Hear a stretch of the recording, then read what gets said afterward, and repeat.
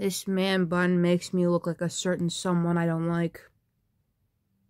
I take it off, but honestly, I'm vibing with it, and I don't really want to... I showered, so my hair looks horrible. I can't style it right now, so it's gonna have to stay like this for now.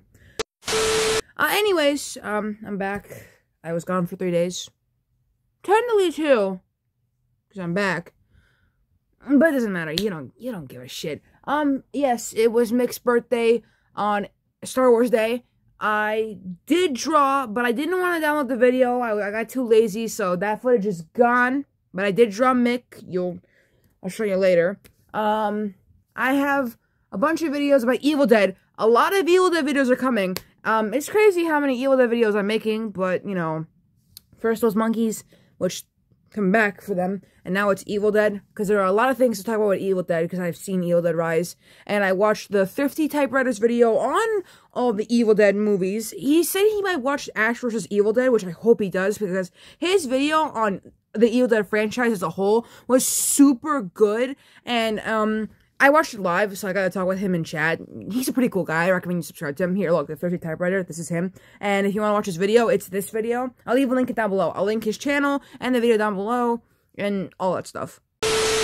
But the reason why we're talking about horror right now is because I made a video about The Conjuring getting another movie and Insidious getting another movie, and that video, it got me views, so it got me thinking, well, we need to make another video about Conjuring and not Insidious because I don't want to watch Insidious right now. I can't handle it, Patrick Wilson's too hot. Anyways, what I have in my hands is all of the Conjuring movies in chronological order because, uh, believe it or not, there's lore there's lore. Um, for those of you who don't know, the Conjuring movies are based on real events. These things did happen, and whether we want to believe it or not, they're pretty spooky.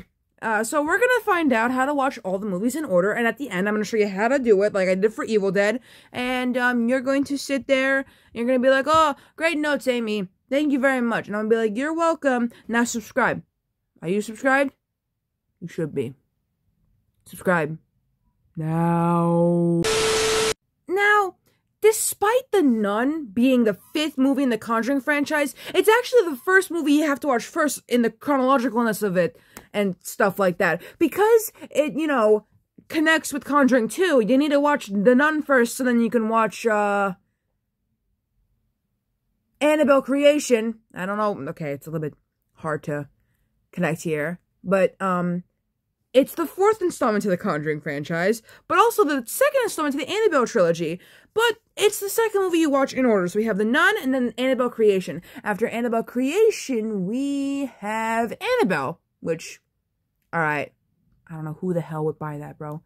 And, um, it's the second installment in the Conjuring universe, and third and first in the Annabelle well, no, it's the third chronological in this timeline. So we have The Nun, Annabelle Creation, Annabelle, and then for the Conjuring universe, it's the second installment. For the Annabelle trilogy, it's the first movie. And it's a prequel which catches which catches up everyone about, you know, freaking Annabelle and stuff like that. So we have The Nun, Annabelle Creation, Annabelle, and then of course we have The Conjuring, which in my opinion is my favorite movie of all time. And I don't know if you knew this, but um the mom in the movie uh, was in Dogfight with, with River Phoenix. So I don't know if any of you knew that.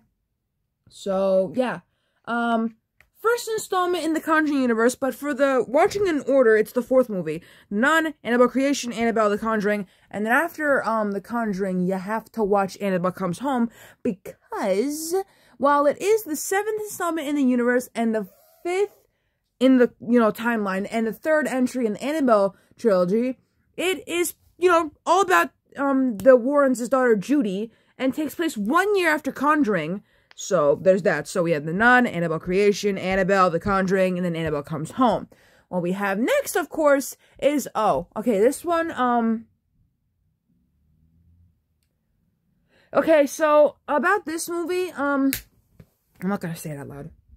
I'm not sure if you want to count this in the um thing. You can but like I don't think you should. Well, it is six chronologically. You don't have to watch that one if you don't want to, if you don't think it connects with the universe just because it, you know, it, stuff like that. So, So I would say after watching Annabelle Comes Home, watch Conjuring 2 if you don't want to watch that movie. And then after Conjuring 2, you watch, of course, the third movie, which is The Devil Made Me Do It. And then after that, um, you'd have to watch the, um, newest movie that, that comes out, which is, of course, you know, um, The Last Rite. So, yeah. Um, I'm gonna put that up on screen. Uh, you watch Here's okay, but here's the movies in order when they were released. So The Conjuring came out in 2013, Annabelle in 2014, the second movie for Conjuring in 2016, Annabelle Creation in 2017, The Nun in 2018, The Curse of 2019, um, Annabelle Comes Home 2019, and then of course Devil Made Me Do It 2021. Of course, though, um, we have to watch these in order.